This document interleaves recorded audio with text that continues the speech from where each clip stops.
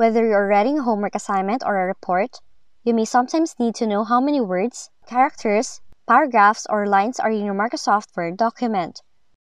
Now you can either count them manually, or you can also let the Microsoft Word do the work for you. And if you want to know how the software can tell you how many words are in your document, you can follow the steps in this video tutorial. Now to start, launch the Microsoft Word on your device and open the document you're currently working on.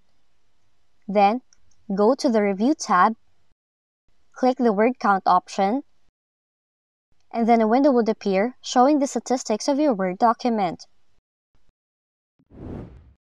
Additionally, if you want to know your word count quickly, you can refer to the bottom of your Microsoft Word and you can see the number of words that you have in your document.